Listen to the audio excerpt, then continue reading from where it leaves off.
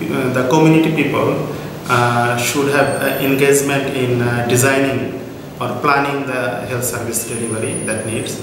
It should, uh, the health system uh, need to be equitable, accessible for the people, for uh, all, irrespective of their socioeconomic conditions and all other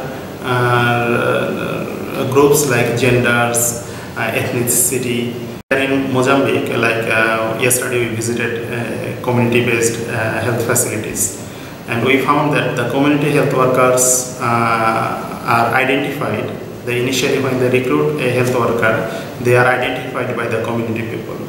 That means the community people are involved in that. So when we involve community people in uh, any service delivery then we also give uh, them some kind of responsibility of managing that so in other way that uh, in that case they will look after that health system and then that health system will be also sustainable.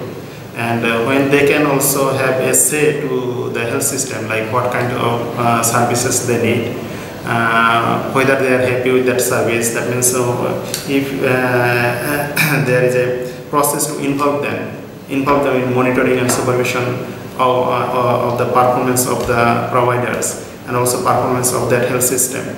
Uh, then the community engagement will also uh, that means uh, we can ensure better community engagement and that will empower the community people and their sense of responsibility for their health systems. And it will also um, that means uh, empower their voice who is, so that they can ask for their services uh, ask for their rights. So in that way i think the REACHOUT is uh, Uh, since we are working on close to community service so we are very close to community